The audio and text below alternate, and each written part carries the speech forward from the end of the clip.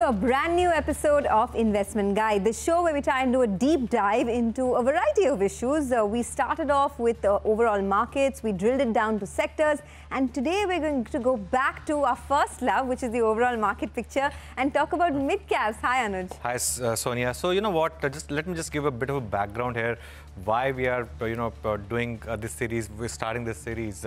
you know, a lot of people believe that the Indian markets follow what's been happening in Russell 2000, mm. and in the mid caps, while COVID marked a bit of a near-term break on the large cap indexes this this this year. The mid-cap bull market ended in 2018. Mm. Mid-caps were already in a bear market. So what we are seeing right now is a huge comeback of the mid-caps. Price to book wise, the mid-caps have corrected very sharply. We're, I think, at 40 to 50 percent of peak value, and that's why you know a lot of people believe that perhaps is a time to buy mid caps, and that's why we are starting here a brand new sort of series on what to buy, what to avoid, how to buy. All these issues will be answered in CNBC TV 18 Investment Guide.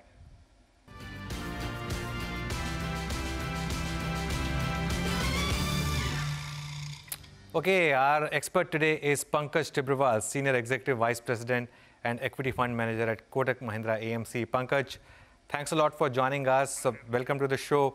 Now, Pankaj, uh, the big question is that are we at the cusp of a real recovery in the broader market? Because, you know, broader market has gone through a lot of pain.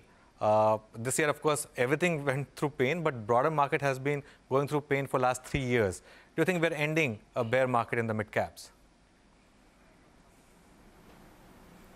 Good afternoon, uh, Anuj. Good afternoon, Sonia. Uh, what a year this has been till date. Uh, from peak at mid, in mid-January, uh, we corrected by almost 38%, and from 23rd March lows, uh, Nifty is up 65, and mid and small caps are higher than that. Uh, who would have imagined that post-COVID? broader market would show signs of life. Uh, as you rightly said at the beginning, it's not only in India. Globally, uh, Russell 2000 index this month itself is up 20%. And if it sustains for some more time, uh, this will be the best ever month in the history of Russell 2000 in terms of gains. Similarly, in India, after 2017, as you rightly said, we saw a lot of pain in the broader markets. But calendar year to date, uh, the broader market seems to be doing better than narrow indices, which is Sensex and Nifty. Uh, in the near term, markets do look a bit stretched and extended, and valuations look a bit expensive. Uh, but there are some interesting trends which are happening in the marketplace. The first one is that there's an expectation that next year we will transit from a virus year to a vaccine year. Mm. And the expectation is that growth will be more normalized uh, in the time to come. Uh, if that's the case, broader markets normally see that they are more levered to the growth. And especially in India, the broader market is more levered to the domestic growth. So that's one thing we should all keep in mind that after maybe two and a half, three years, the GDP will probably escalate rather than de-escalate. Mm. Uh, the second point, uh, uh, Anuj, is that uh, the earning uh, season has been extremely strong. The second quarter FY21 earnings has been one of the best in the last many, many years. Mm. And the breadth and width of the earning revision has been extremely positive. Uh, just to give you some sense, uh, except two sectors, which is utilities and capital goods, we have seen earnings beat across the sectors. Almost 70% of the universe has seen earnings upgrade, and the upgrade to downgrade ratio has been more than more than four is to one. This kind of yeah. results we have not seen for a very very long period of time. And we have to compliment corporate India out here that despite of all the challenges, despite of no demand stimulus, the companies sure. in the listed space have come out extremely resilient. Yeah. Uh, and uh, you have seen margin expansion happening. Uh, so I think broader market are looking extremely well poised hmm. for the next couple of years if earnings was to play out. And hence we are seeing that momentum starting to build in. Okay, who would have thought, right, in a pandemic year, we'll see such upgrades come through and such strong numbers as well. Uh, Pankaj, hi, welcome to the show. So, uh, I was going through a lot of brokerage reports, both uh, foreign and domestic, and a slew of them came out with earnings upgrades in the last fortnight or so, whether it's CLSA, Credit Suisse, Motilal, Edelweiss. I want to understand, are we finally at the end of a perpetual downgrade cycle in earnings or is it too soon to call that? Uh, my sense it is just one quarter right now. We have to wait for a few more quarters to make that uh, comment. But the signs are encouraging, Sonia. Uh, if you look at this quarter, this is the highest ever quarter in terms of profitability by corporate India. Uh, if you look at you know universe of about top thousand companies, the ex BFSI and telecom, corporate India has delivered more than one lakh thirty thousand crore of profits. This is the highest profit in a quarter uh, compared to the history. Mm. the second point is that corporate India uh, has seen the maximum margin expansion relative to Asia ex Japan and relative to emerging markets. That means Indian corporates have done a far better job in cost control and productivity improvement. Third, the earnings revision in India has been the highest in the Asia Pac region and the other emerging markets. So clearly this has been a very encouraging quarter.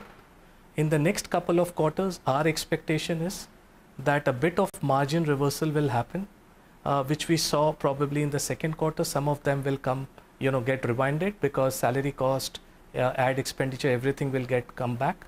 Uh, but the top line growth, if growth comes back on a no normalized year, will give operating leverage to Indian corporates. And uh, Sonia, just remember that this time, uh, when you look at the first half cash flows and balance sheets, mm. it has been extremely strong. Corp corporate India has worked on collections, lowering down the inventory to make their balance sheets more healthier yeah. and leaner.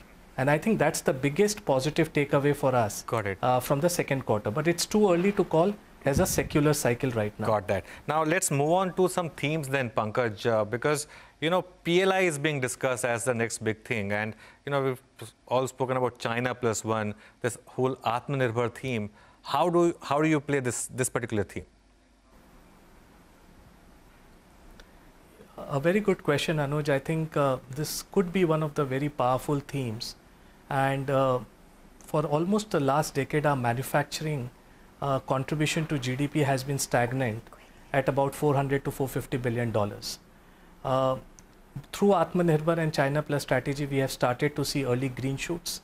Uh, let me give you a few examples, and that will probably give us some, uh, you know, sense. There's a cluster called Morbi in Gujarat this is the second largest cluster in the world for manufacturing of tiles. Uh, earlier, our market share in exports to US was just 1.5%, which is same time last year.